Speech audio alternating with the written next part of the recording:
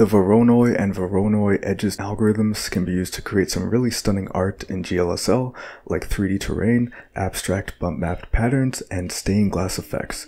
In this two-part tutorial series, you will get full visual and vector-based walkthroughs of how the Voronoi and Voronoi edges algorithms work, as well as some techniques you can use to go further and make beautiful artwork of your own. The Voronoi pattern in general depends on having positions of points and a way to get the closest points distance for each pixel.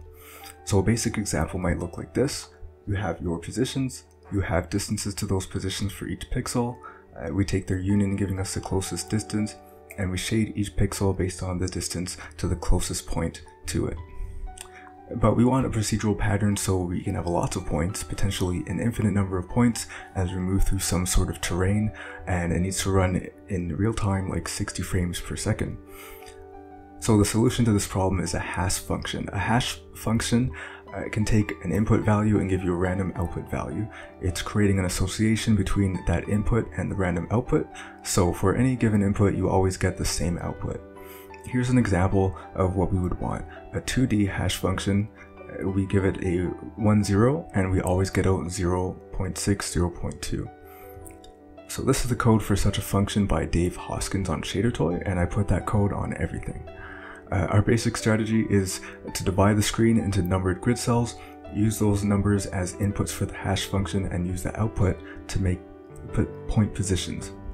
Here's what our grid cells might look like if we had a 5x3 grid. Each of these is mapped to a random offset using the hash function, and here are the resulting offsets from the hash function. So here as a visual example, we have gradients representing the distances to points. Uh, as to how these circles are positioned for now, just imagine each cell, it has its origin, uh, original cell value, and we add that offset that gives us the location of each point in each cell. Uh, we draw different point distance gradients in each cell, uh, which is why there's this cutting off between cells. Uh, what we want though is this, neighboring cells fill in the missing information about which point is closest for a given pixel. So here's a visual demonstration of how that would work uh, for this cell outlined in red. The cell will check each of its neighbors and draw what it can of that neighbor's point gradient.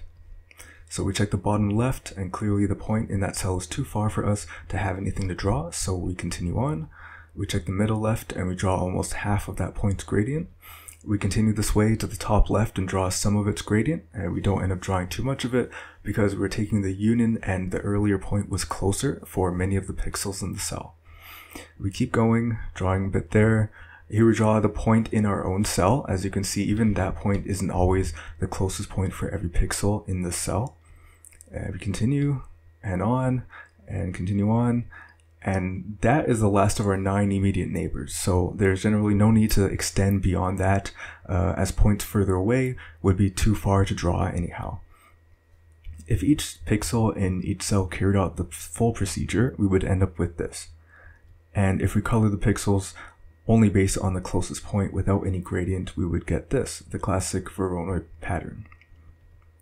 So the question remains, how do we uh, actually use these offsets to build the correct positions for neighboring cells? Uh, here is the main image uh, where I'm calling the basic Voronoi uh, function with this UV scaled by 8. And there's the code for the basic Voronoi algorithm in all its glory. Uh, we start by dividing the screen into grid cells, Actually, this would be an 8x8 grid, but for the sake of consistency, I'm using the same grid I showed earlier. Um, we set a minimum distance that's guaranteed to be higher than any resulting distance after going through our process. That allows us to use a starting value in the process without any consequences. Now, we enter the double for loop, which we'll use to build our neighbor direction vector. We use that to find the offsets for all nine cells, including our own, which will hit when the vector is 0, 0. And this is where we use our hash function to generate an offset. The input is built from the current cell plus whatever neighbor we are helping to draw for. For visual demonstration with vectors, we start with our floor UV, which is our current cell value we add a neighbor direction, in this case 1, 0, so we're finding the offset for the right middle cell out of the 9 possible cells.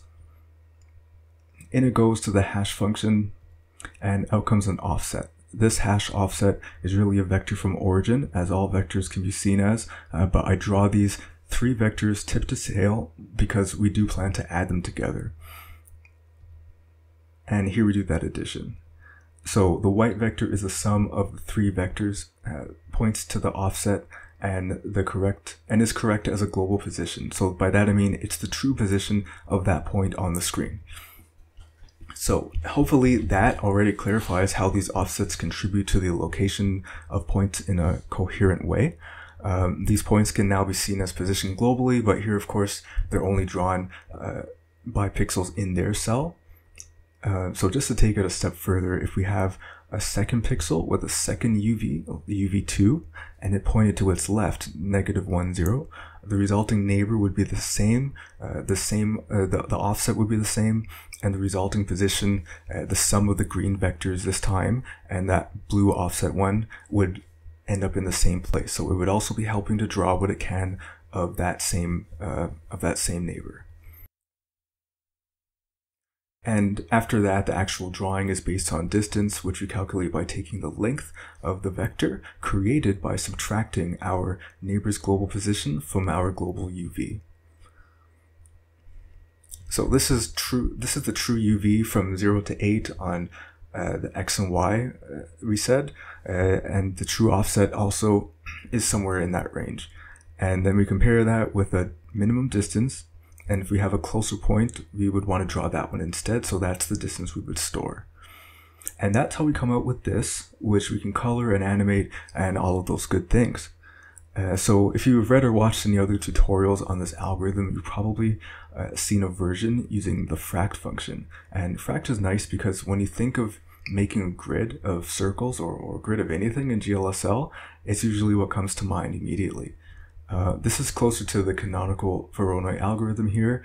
Uh, the way most tutorials on Voronoi algorithms go is you use the fract UV, which sets up a grid of coordinate systems.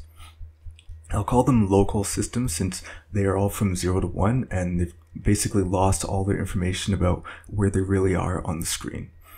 So you create your neighbor distance vectors as usual, and in order to create the offset, you still need that current cell value, uh, which is global in that it's telling us where the cell actually is on the screen.